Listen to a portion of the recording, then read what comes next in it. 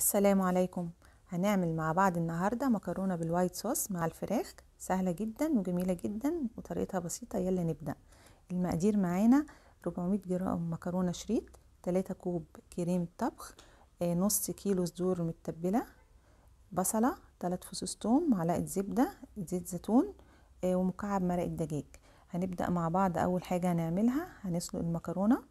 مش شرط مكرونة شريط ممكن مكرونة بن أو ممكن أي نوع بتحبيه يعني. بس هي طبعا الوصفة الأصلية بالشريط أو السباكيتي. آه، طبعا المكرونة هنا بنعملها تلات أرباع سوا.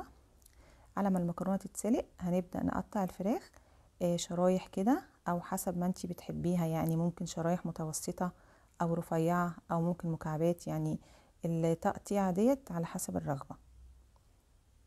طبعا الفراخ بتبقى متبلة ومتنشفة كويس جدا. هتدي نتيجة أحلى وطعم حلو جدا.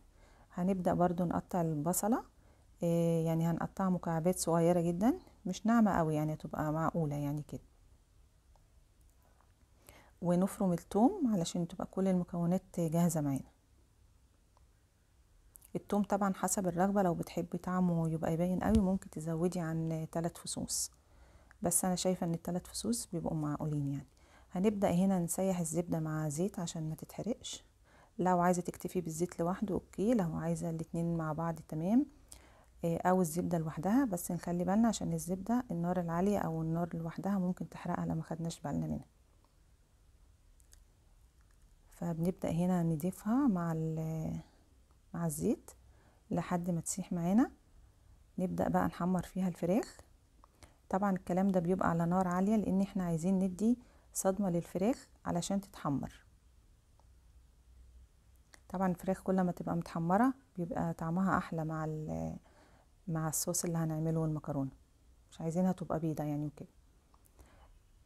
بنبدأ نحط الفراخ كده على كلها كده بنوزعها على حسب الطاسة اللي بنعمل فيها فبنوزعها ما بنخليهاش فوق بعضها بحيث إن كل وش من القطع ديت تحمر تبقى كأنها مشوية يعني كده. طبعا النار العالية بتساعدنا إن المية بتاعت الفراخ ما تنزلش وتبقى كأنها مسلوقة.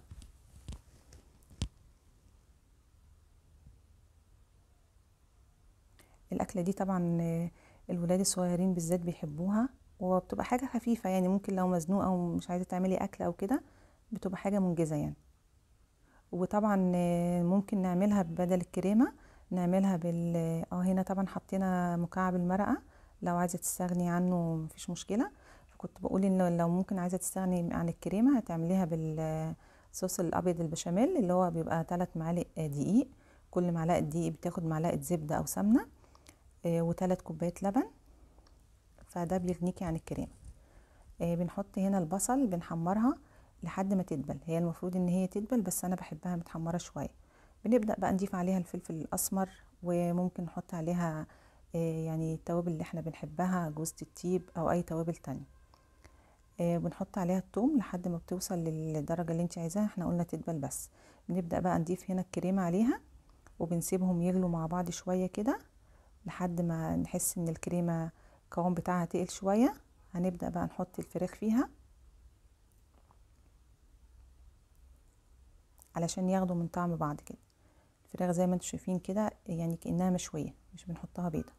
ده بيدي طعم حلو جدا غير ما تبقى يعني بنحطها مع بعض وبعد كده بنبدأ نضيف المكرونة وبنسيبهم دقايق على النار يغلوا كده حوالي 3 دقايق لحد ما ياخدوا من طعم بعض. هقول لكم بقى هتاكلوا أحلى مكرونة بال white sauce طعمها حكاية تحفة.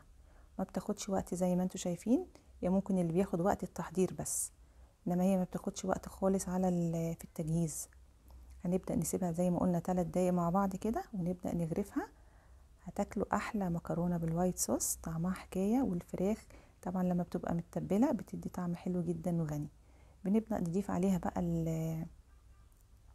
لو عندك أي مثلا كزبرة بقدونس أو حبة شبت بيدي طعم حلو جدا وريحة خرافة وطعمها حكاية. يا ريت تجربوها وبالهنا والشفا.